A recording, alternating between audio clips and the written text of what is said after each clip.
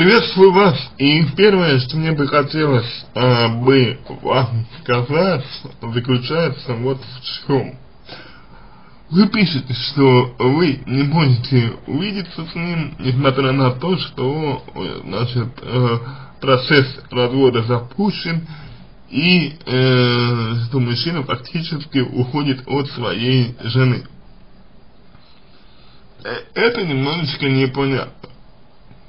Если развод запущен, а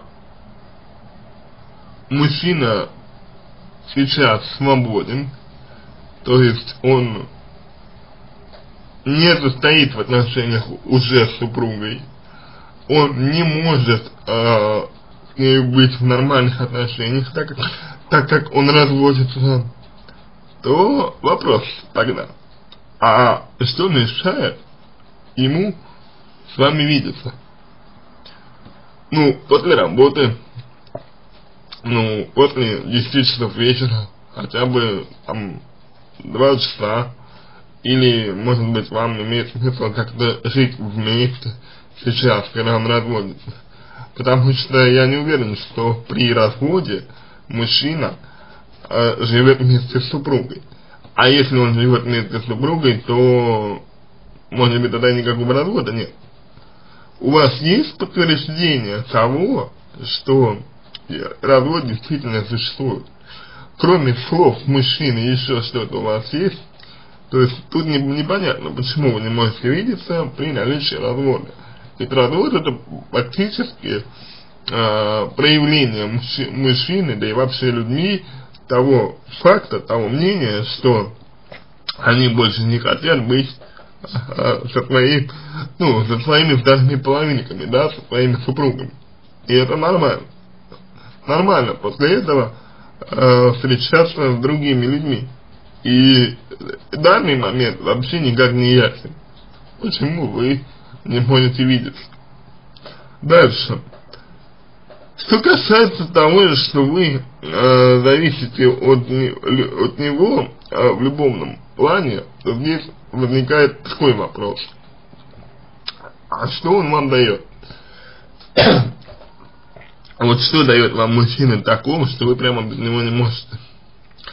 Видите, видите ли, э, любовная зависимость э, проявляется тогда, когда человек испытывает в чем-то потребность и видит способ реализации этой потребности именно в, человеке. То есть делает это, реализует свою потребность через другого человека. У вас происходит, судя по всему, именно так. Вы реализуете через этого мужчину или пытаетесь реализовать свою какую-то потребность. Может быть, с его помощью вы бежите от какого-то страха. От, может быть, своего страха, или, может быть, а, от какого-то неосознаваемого страха, или, может быть, страха привитого вам э, с детства родителями, может быть что-то еще. Нужно этот момент разобрать. До тех пор, пока вы будете проецировать на мужчину свои страхи, свои желания, свои потребности, и сами со страхом справляться не будете, и самостоятельно потребности и желания удовлетворять не через него не будете, у вас будет такая вот зависимость. зависимость. И вы, по сути дела, сводите на нет то, что вы делали, все, что делали вам ваши родители. То есть, они помогли вам поехать в другую страну, они помогли вам финансово закончить учебу в университете, а вы сейчас, э, по сути дела, просто, э, ну, употребляете алкоголь, рискуя еще и в алкогольную зависимость э, впасть. Я не думаю, что это хороший выбор, я не думаю, что это то, чего вы достойны. Поэтому, а, я понимаю, что у вас нет сил. Но силы у вас нет потому, что вы истощаете себя вот этими вот отношениями. По сути дела, а, давайте я попробую вам привести такой пример. А, если я хочу быть человеком, потому что только с ним я сыт, а без него я все время голоден, то естественно я от этого человека очень сильно зависим. И если этот человек не может со мной находиться рядом, то я постоянно голоден. и никогда не бываю сыт. Вот у вас происходит примерно то же самое. Вам нужно свой голод удовлетворить, э, чтобы не зависеть от него, и тогда вам будет ясно, можете ли вы работать или нет. Сейчас вы устали именно потому, что свои желания через мужчину вы удовлетворить не можете, и поэтому у вас истощение. Истощение закончится, когда вы осознаете, э, собственно, чего вы хотите добиться через мужчи, мужчину, и либо сами это будете делать, либо просто поймете, что этот человек не ваш. А с другой стороны, истощение уйдет, если вы будете четко представлять себе причины, по которым вы не можете увидеть. То есть, вот, это э, то, что я говорил в самом, в самом начале. То есть, этот момент, мне кажется, несколько непонятный. Люди, если они действительно любят друг друга, они найдут любое время, любую возможность, даже спать не будут по ночам, лишь бы только побыть друг с другом э, вместе.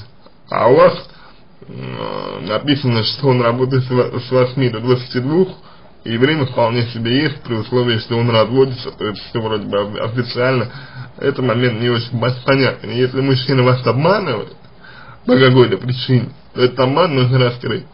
Или а, более, э, более полно отдавать себе отчет в том, как мужчина к вам относится, чего он хочет, какое место оставил для вас в своей жизни. Этот момент тоже нужно разобрать. А, что касается того, уезжать вам в другую страну или остаться, э, или уезжать ли вам в Россию или остаться в другой стране, прошу прощения, то я думаю, что нужно однозначно оставаться в другой стране, хотя бы потому, что вы там выучились, вы знаете язык, вам будет легче найти работу именно там. Другое дело, что э, вы сейчас решение принимать не способны. Вы не можете принимать решения адекватно, здраво и осмысленно, потому что у вас есть истощение, о котором, о котором вы сами, сами говорите.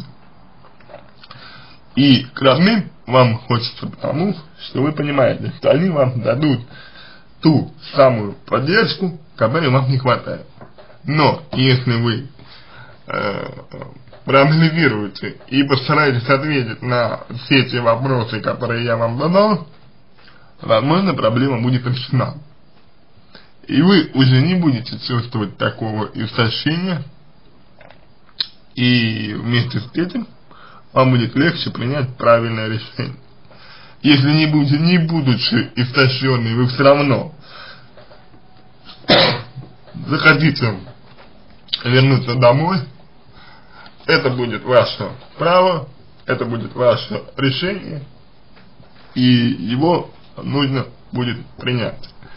Выбор делать только вам, решать только вам, а мы можем помочь вам Э, максимально объективно, абстрактно, здраво посмотреть на вашу ситуацию для того, чтобы решение максимально отвечало э, именно вашим интересам и не было в их ущерб. То есть не было в ущерб и именно так. На этом все. Надеюсь, что помог вам. Если вопросы какие-то остались, обращайтесь в личку, помогу.